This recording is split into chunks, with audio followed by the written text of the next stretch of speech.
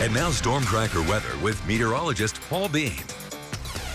All right, let's start off with one warning. All the advisories, all the winter storm watches have backed off with a lot of that snow that moved out over the weekend. The avalanche warning still in effect for the areas of Montpelier and Malad City well down in the south corner of the state. That's mainly because of that loose snow that has fallen over the last two days. So just be careful if you're in some of the mountain passes down that way.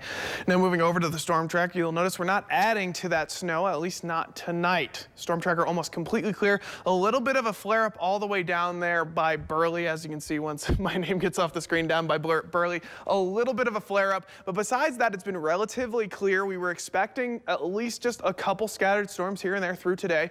They've all since pushed out, and tonight just being replaced with a basically partly cloudy night. It's going to be on the cold side, but at least we won't see any more snow added on while we're doing that. Of course, almost all of that system going out into Wyoming, even further into the Dakotas already. You can see a nice formed dry slot completely over the state right now, and then that next wave of clouds on its way in, going to hit us on Wednesday and bring a little bit more of that snow in. A lot of those temperatures are going to go down, so it will fall as snow. I know Pocatello on this last system, it was mostly rain, but moving forward, it is going to shift back to snow.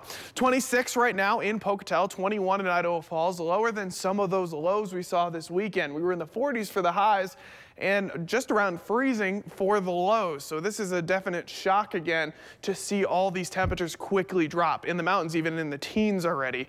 And ooh, we're seeing some single digits overnight, 10 and 12 in Blackfoot and Pocatello, but almost everywhere else seeing those single digits. Lava at 9, Afton 1, Jackson 0, and negative 6 at Yellowstone. And the coldest temperature almost always is over in Stanley, but right now it's negative 8 compared to Challis, which is in the same county only at 5. So it's going to be a rough night if you're over in the central mountains. We're seeing those temperatures drop fast, and they're not recovering as we hit tomorrow because we're only getting to around 30 in Pocatello, and that's the warmest temperature on the map besides Burley and Twin Falls. A lot of those temperatures falling in those mid-20s, of course 26 in Blackfoot and Idaho Falls, low 20s over in Jackson and Driggs upper teens in Yellowstone. So we're seeing those temperatures much cooler now. These are the lows basically from this weekend, and they're going to be the highs for tomorrow.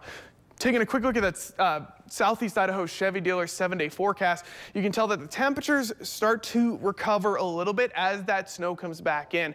And it takes its time, but it's going to be weaker each day. Wednesday, Thursday, Friday, it's scattered every day, but it gets weaker and weaker as it goes on. And you're going to see that across the board. Idaho Falls sees more solid snow. If the further north you are, the more likely you are going to see snow on Wednesday. Thursday and Friday scattering out, and then Sunday and Monday seeing a little bit of a replacement in there as the temperatures head downwards. And as we follow the pattern further north, strong storms from Wednesday to Friday. And then finally over in the mountainous regions, seeing temperatures dip even lower. Of course, you're seeing the negatives overnight.